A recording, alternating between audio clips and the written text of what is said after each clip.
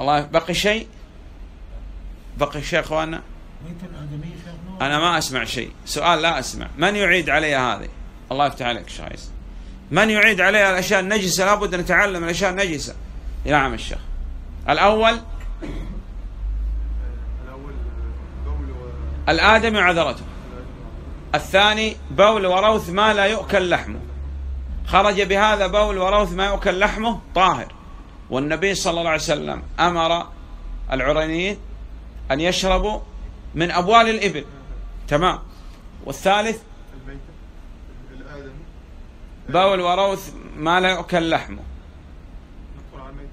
والميتات كلها نجسة إلا الآدمي والجراد والحوت والجراد وما لا نفس له سائلة.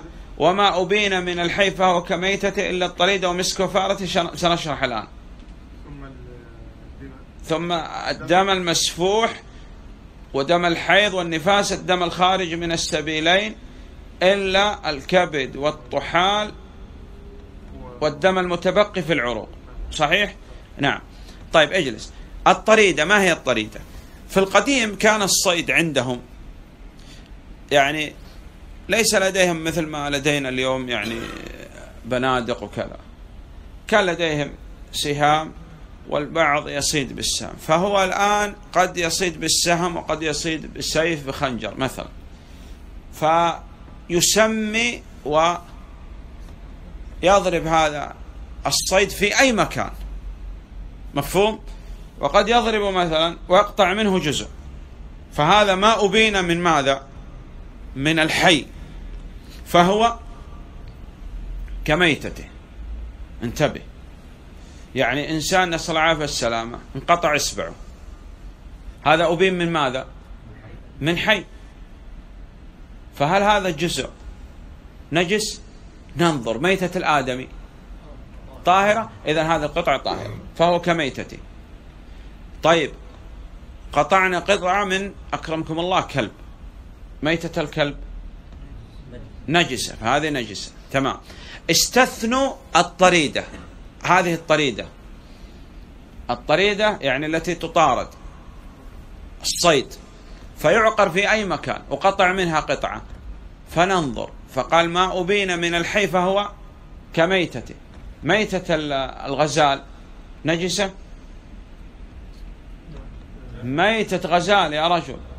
ميتة. نجسة. فلو قطع منها قطعة كميتة نجسة لكن قال هذه طريدة سمى وقطع. تمام. إلا الطريدة والمسك وفأرته. الدم قلنا أصل في الدماء. نجاسة. الآن عندنا المسك. تعرفوا المسك؟ المسك ال- ال- الأصلي هو في الحقيقة دم. هناك غزال يسمى غزال المسك. غزال المسك نوع نادر من الغزلان. وهذا هذا الغزال يخرج يقول عند السرة وأسفل البطن كذا غدة يجتمع فيها الدم.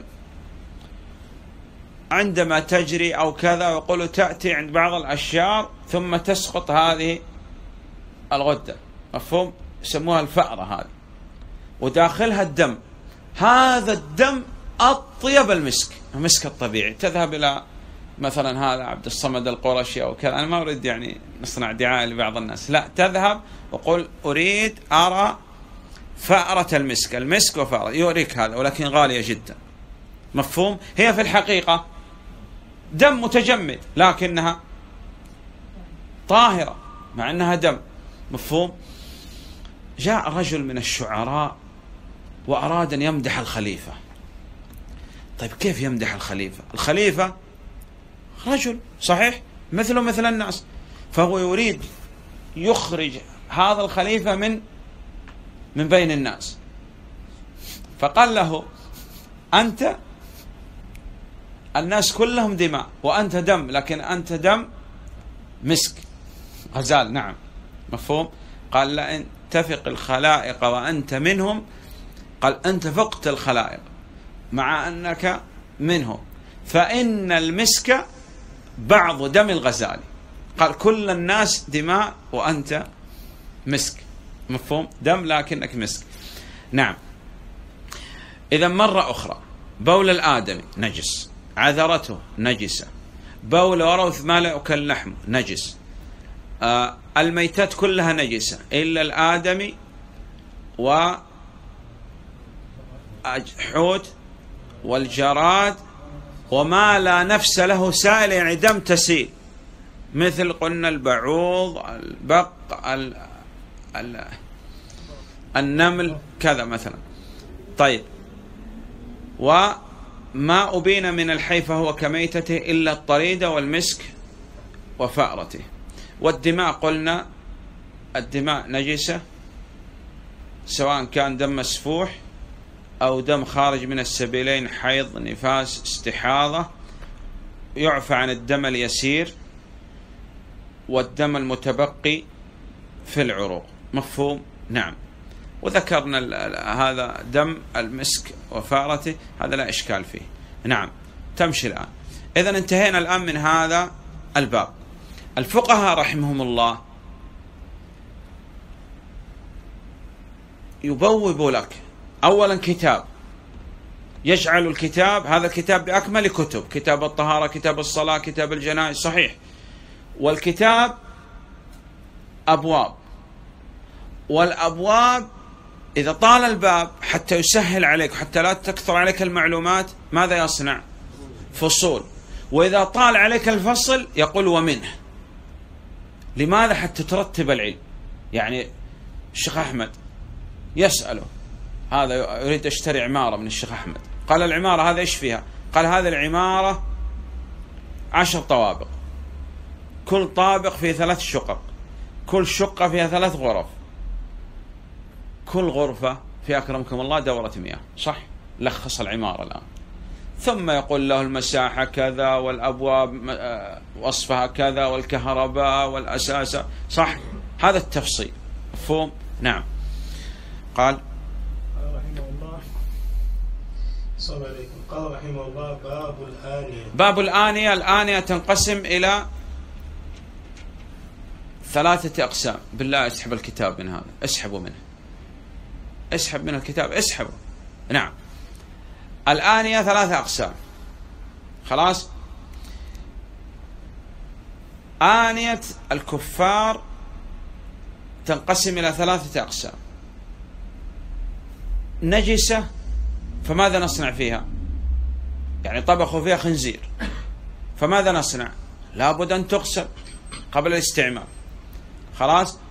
الثانية آنية طاهرة. فالأصل فيها طهارة.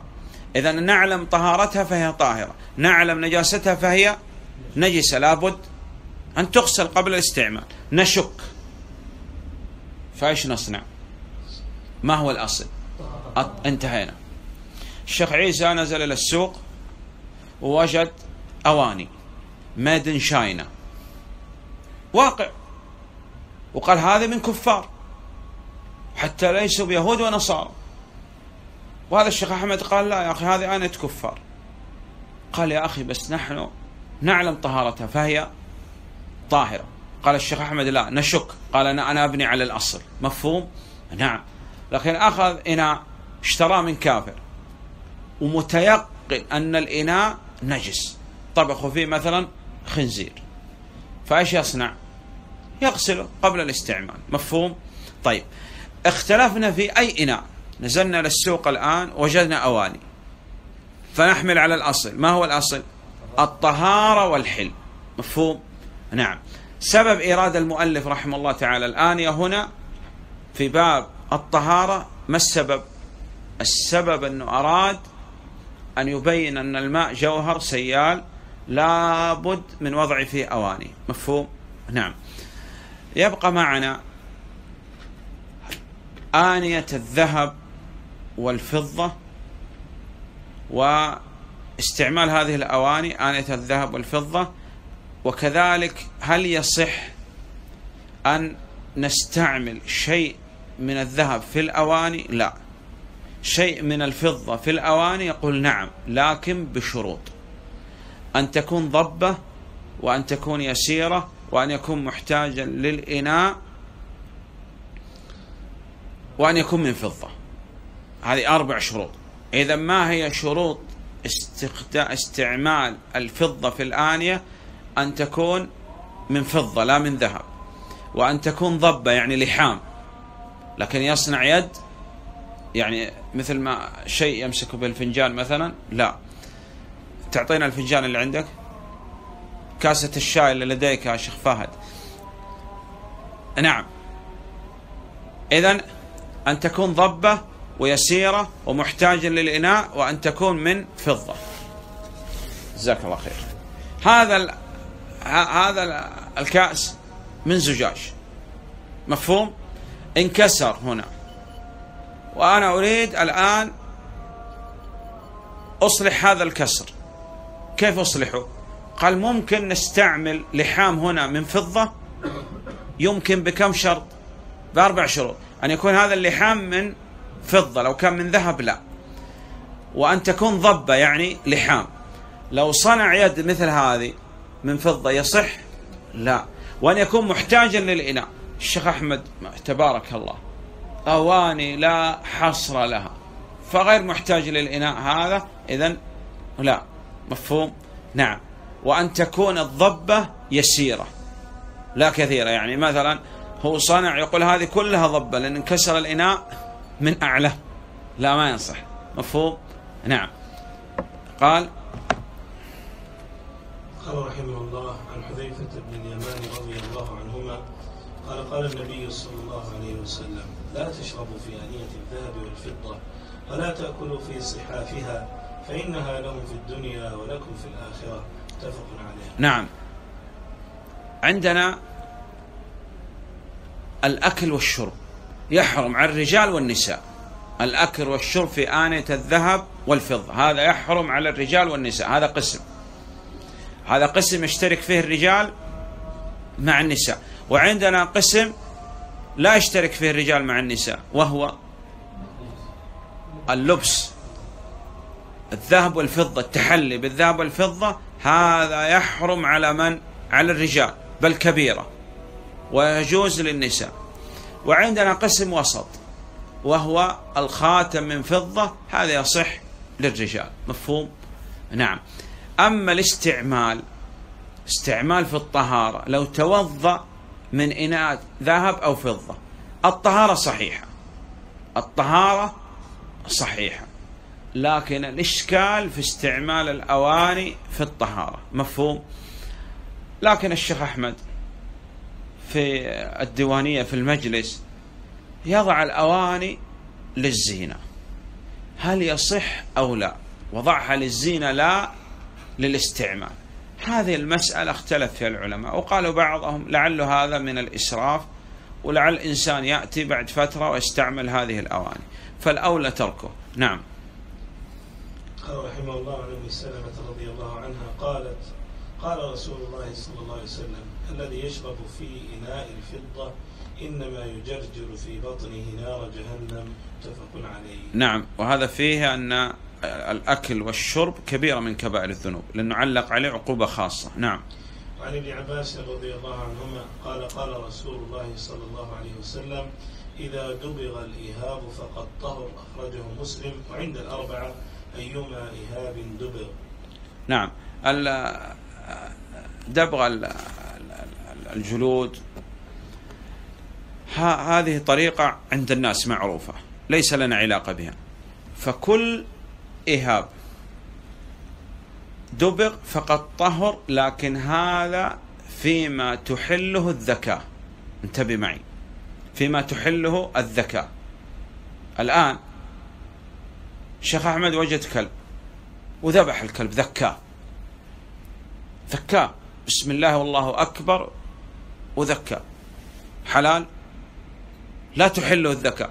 إذا لو دبغ إهاب الكلب طهر لا لأنه لا تحله الذكاء. سواء ذكاء وجدوا ميتة. طيب وجد شاة ميتة الشيخ أحمد وجدها. وسلخ إهاب الشاة ودبغه. ال- الشاة الآن لو ذكاها حلال؟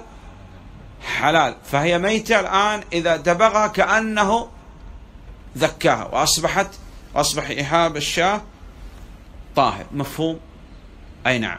إذا أيما إهاب دبغ فقد طهر لكن فيما تحله الذكاء. مفهوم؟ أي نعم. لا لدينا الآن يعني تعرفوا أنتم جلود تماسيح صحيح؟ وجلود آه، مثلا آه، نمور أسود صح؟ فهود كذا. فهذه إيش نصنع فيها؟ على هذا القول اللي يرجح الشيخ بن عثيمين رحمه الله تعالى أنه لم يطهر. مفهوم؟ يضع مثلا على الجدار للزينة وكذا لا, لا إشكال فيه. لكن يعني يضع فيه الطعام أو الشراب أو كذا لا. نعم. وعن سلمة ابن المحبق رضي الله عنه قال قال رسول الله صلى الله عليه وسلم دباغ جلود الميتة طهورها. صححه ابن حبان. نعم. وعن ميمونة رضي الله عنها قالت مر رسول الله صلى الله عليه وسلم بشاة يجرونها فقال لو أخذتم إهابها فقالوا إنها ميتة. إنها ميتة. فاحتجوا على أنها ميتة. وأجزاء الميتة كلها نجسة. كذلك الإهاب لكن إذا دبق طهر. نعم. فقال صلى الله عليه وسلم يطهرها الماء والقرض. أخرجه أبو داود والنسائي. لأن هذه من الميتات. نعم. والميتات قلنا كلها نجسة إلا الآدمي والحوت والجراد وما لا نفس له سائلة. نعم.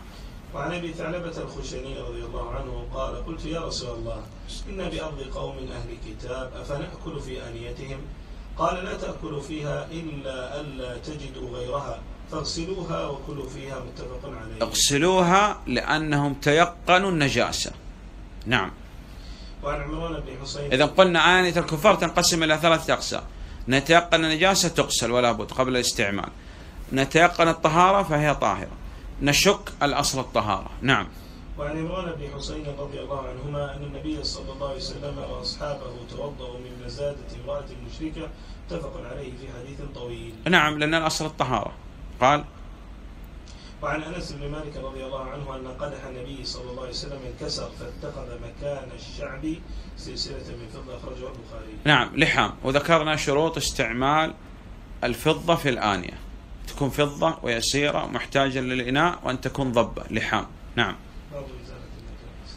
والله أعلم. وصلى الله على نبينا محمد وآله وصحبه وسلم. جزاكم الله خيرا.